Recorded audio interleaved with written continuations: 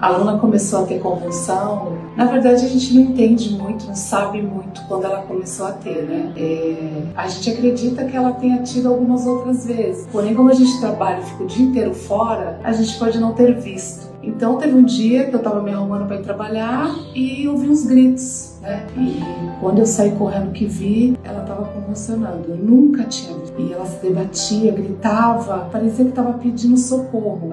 E aí eu, sem entender o que era, imaginei que fosse isso. É, levei ela, né? E aí foi diagnosticado que ela estava tendo convulsão mesmo. E o diagnóstico foi esse, foi passado para ela tomar Gardenal, né? Ela começou a tomar, só que depois de um tempo ela começou a ter novamente. E a gente sem entender novamente, né? O porquê se ela estava tomando remédio. Mas aí ela engordou, né? Veio as mudanças do corpo dela, né? Do animal. E aí foi quando a gente procurou novamente e encontramos a doutora Antonella. Verdade, meu marido, olhando muito né, no YouTube, que ele adora ver YouTube, ele encontrou a doutora explicando sobre. E ele falou: Olha, a doutora explica super bem, vamos ver, né? De repente a gente está fazendo alguma coisa errada novamente. E aí chegamos aqui, né? Ela explicou, fez os exames, muitos exames que eu nunca tinha levado a aluna para fazer exame assim, né? Agora estamos aí fazendo tratamento